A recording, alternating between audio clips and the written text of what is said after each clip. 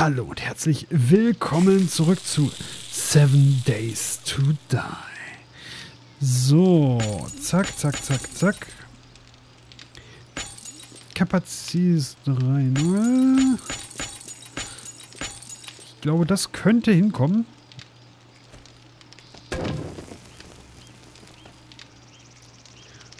Das kommt ziemlich genau hin. Na, gucken, wenn es genau passt, bin ich happy. Los, los, los, das muss genau passen. Jawohl, das hat sogar ganz genau gepasst. Und jetzt haben wir äh, Koi. Drei brauchen wir. Kommt sogar hin, ne? Kommt ja sogar hin. Sechs Minuten noch was. Können wir da nicht Machen wir erstmal den da, dann, keine Ahnung, da von zwei Stück. Ja, so viel brauchen wir da gar nicht von. Dann machen wir hier noch ein paar von. Zack. Zack. Und so klappt's. Sehr schön, sehr schön. Dann brutzelt immer fein durch. So, wie sieht's hier inzwischen aus? Sehr gut. Upsala. Und dann können wir hier mal langsam auch mal Ordnung schaffen, glaube ich. Wird ja doch auch mal Zeit.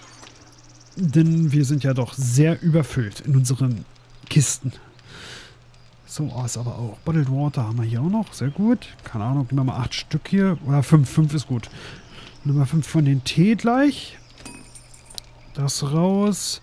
Gravele, Gravele, Gravele, Gravele. Erstmal den Stein hier noch raus. Gravele, Gravele, Gravele, Gravele. Dann die Pillen hier noch raus. Ich suche immer noch Gravele, Gravele, Gravele, Gravele. Finde aber gerade keine. Da mal Gravele. Gravele. Ein paar von denen ist auch sehr gut. Die Biotex ist auch immer richtig gut. Das kann man nicht immer gut gebrauchen. Vor allem wir, so schlecht wie ich bin in diesem Spiel. Brauchen wir das allemal. Wir brauchen auf jeden Fall dann noch eine Chest hier neben. Schätze mal dann hier hin. Hissa, hissa, hissa. Und komm. Und ja, und los. Zack. Und die wir dann zum Beispiel unsere Förmchen und das reinprügeln. So, dann machen wir mal kurz A Chest. Secure Chest, genau. Ums, machen wir die mal. Äh, zack und zack.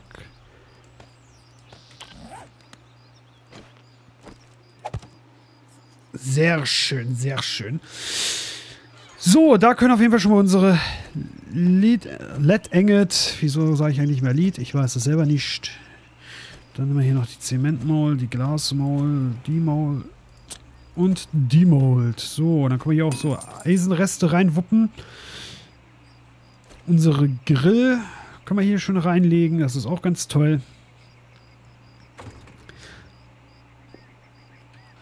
So, was hätten wir hier denn alles? So, erstmal da, da hinein. Lalalala, hatte ich nie noch eine Kaffeebohne gefunden unterwegs? Wahrscheinlich habe ich die nicht mitnehmen können, aus irgendeinem Grund. Was soll's? Ist der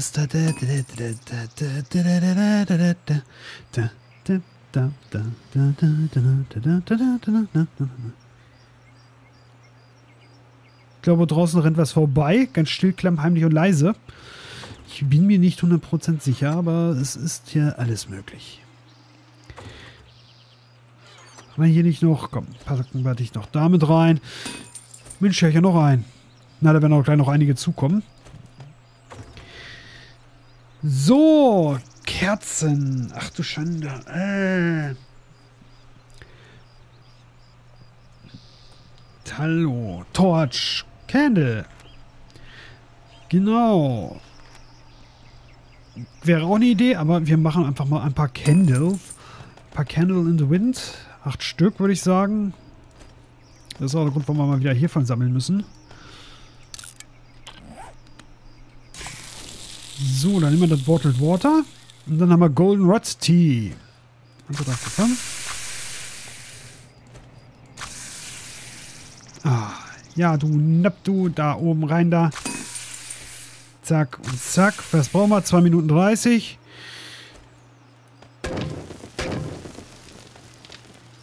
zack, zack, zack, zack, zack, zack, zack, zack. Ja, so kommt's hin. Sehr schön. Und damit sind wir dann schon mal etwas fideler. Und nebenbei, was macht unsere Candles? Die Candles sind auch soweit fertig. Mach mal hier die Eingangscandle mal hin.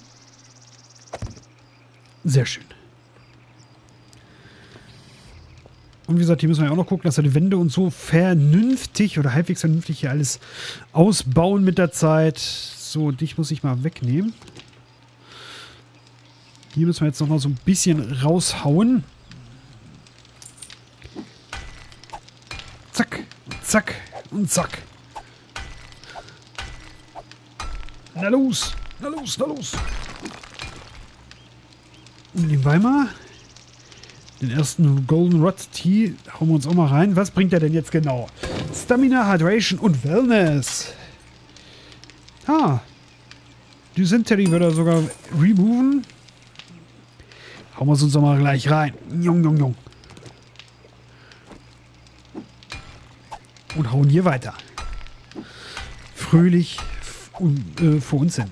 Danach könnten wir ein bisschen Fleisch grillen. Fleisch grillen ist ja dann wieder auch ein Ticken gefährlicher wegen Los Zombos und Zomboids in möglicher Nähe. Da muss man aufpassen.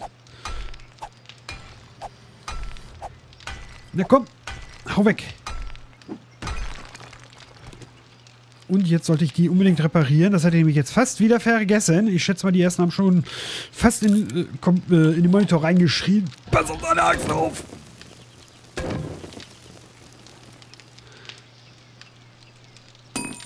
Jawohl, geht genau auf. Herrlich, herrlich. Oh, das ist so schön. Ich freue mich so sehr. Uh, was hat er den jetzt gepackt da? So. Meine mit. Und dasselbe müssen wir jetzt hier nochmal machen. Müssen wir hier auch gucken, dass wir das hier dann schön ausbauen. Mal hier so von der Seite geblickt. Ja, so die Linie passt soweit ja sogar schon ganz gut, ne? Die passt ja fast. So. Weg damit und dann geht es langsam voran. Dann müssen wir noch Lagerkisten bauen, die fehlen uns auch noch, dass wir hier Essen und das besser eingesortiert bekommen. Und dann sind wir zum Tag 7 soweit, dass uns die Zombies überrennen und töten können. Was wahrscheinlich passieren wird. Creepy. Irgendwie sieht das echt so ein bisschen creepy aus, ne? Aber geil. Ich find's, ich find's recht schick. War das hier eigentlich mit F1? Nein. Mit F2? Nein. F3? Nein. Huch! Um Gottes Willen. Egal. Egal, egal, egal, egal. So. King. Wunderbar. Da können wir auch die Mold jetzt endlich mal rausnehmen und in die Kiste einsortieren, wo sie reingehört. So, den kurz rausgenommen. Lalalala. Kurz den Grill genommen. 1, 2, 3, 4, 5. Zack. Und jetzt aber schnell, bevor mich hier irgendwas wittert. Grilled Pork, Grilled Pork. Zack, rein da. Okay, eine Minute 15. So, kommt ungefähr hin. Passt, wackelt, hat Luft. Zack, das Door hinein. Die Kohle können wir auch erstmal hier rein tun. Eigentlich auch unser Holz, was wir jetzt im Moment noch über haben, genauso wie Talg. Aber primär erstmal, wer weiß, wofür man es noch braucht. Da müssen wir mal schauen. Ja, da die kleine Beule. Ich frage mich, ob ich die noch weghauen müsste hier. Da bin ich gerade echt so ein bisschen... Hm, muss die noch weg? Muss die noch weg oder muss die nicht weg? Wir hauen sie mal weg. Wenn nicht, ziehen wir hier so und so irgendwann Wände hoch. Ganz größenwahnsinnig.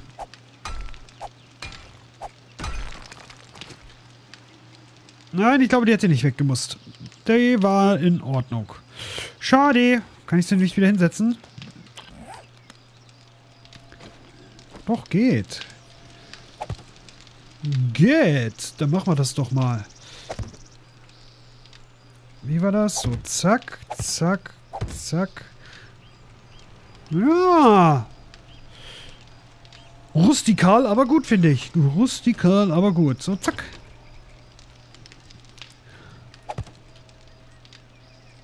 So hat's doch was. Klar, ein bisschen außer Form. Es ist Natursteinmauer. Die kann ruhig ein bisschen außer Form sein, ne? Das ist in Ordnung. Zack und zack. Uh, wo hat er die denn jetzt hingesetzt? Uh. Ich find's... Da, da sehen wir sie wenigstens. Äh, jetzt aber schnell, schnell, schnell, schnell. Und gleich noch ein. Uh, Wellness und alles, yeah. Das schmeiße ich auch erstmal hier rein. Sehr schön, das freut, das freut. Das freut, ne? Freudige Erwartung. Jetzt ist auch schon langsam Abend, also noch rausgehen brauchen wir eigentlich nicht mehr. Was wir jetzt mal machen könnten... Storage, so. Alles klar. Storage Building. Bräuchten wir einen. Können wir machen sogar direkt. Damit wir hier schon mal alle Kisten, die wir brauchen, irgendwie mal haben und ein bisschen mehr Ordnung reinkriegen. Ammo, Food, jetzt muss ich kurz, äh, Food, Food vor allem, genau. Ammo brauchen wir das, Food brauchen wir das, da brauchen wir Schwarzpulver für, da brauchen wir, ja genau, eine Crossbow Bolt, natürlich. Und da brauchen wir das für. Eine Bandage. Ah. Einmal Schusspulver. Dann können wir schon mal wegen Crossbow Bolts. Einmal Feder, einmal Stick. Stones haben wir ja genug. Das sollte also hinhauen. Gab es sich auch eine, wo ich einen Nagel reintun musste? Das weiß ich jetzt gerade gar nicht. Das weiß ich jetzt gerade gar nicht. Äh, da brauchen wir auf jeden Fall noch einen von. Und dann bräuchten wir eine leere Dose. Habe ich die nicht? Die habe ich natürlich verbraten. Haben wir aber zwei. Ach, jetzt aber gut gesättigt. Verdammt! Weil dann haue ich hier diese Reihe noch raus und da kommen dann Kisten hin. Aber machen wir erstmal. Machen wir erstmal die Health. Zack, zack, zack. Weil dann haben wir auf jeden Fall ein bisschen mehr Ordnung im gesamten Klabatsch, den wir da so haben. So, zack, zack, zack, zack, zack, zack, zack, zack. Explosive rein, Craft. Hm, welche brauchen wir noch? Die da. Zack, zack, zack. zack. Uh, da draußen rennt gerade was. Da höre ich gerade aber gewaltig was rennen. Nicht schön, gar nicht schön. Bin kein Freund von rennenden Untoten vor der Haustür. So, für Foot brauchen wir das, für Weapons brauchen wir das und da brauchen wir genau. Den Crossbow Bolt, das war glaube ich einmal so, einmal so und aus Teinchen da, ne? Verdammt, nee, da kommen Arrows raus. Dann war es ein runter. Crossbow Bolt, genau. Zack. Dann haben wir da fünf Stück von, meine Güte. Brauchen wir zwar nicht zwingend, aber so haben wir auf jeden Fall hier die Kisten einmal so bis auf die Food-Kiste einmal durch. Die Food machen wir uns auf jeden Fall dann auch noch.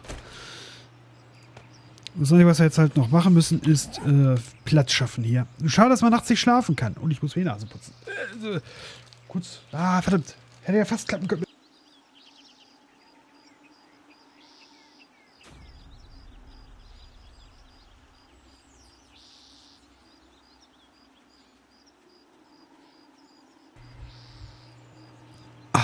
Bin ich wieder Ball. Wir sind an Tag 7, 3 Uhr. Sollte das nicht der Pain Train, der uns killt, sein?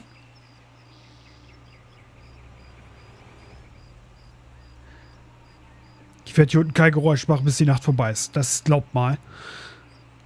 Weil eigentlich hätte das, das doch jetzt das böse Erwachen sein müssen.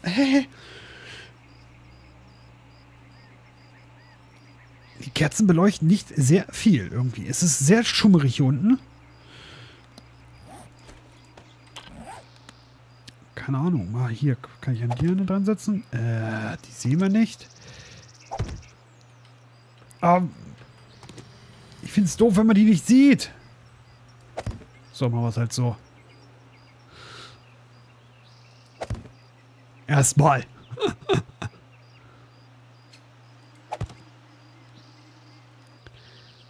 Erstmal, damit wir überhaupt was sehen.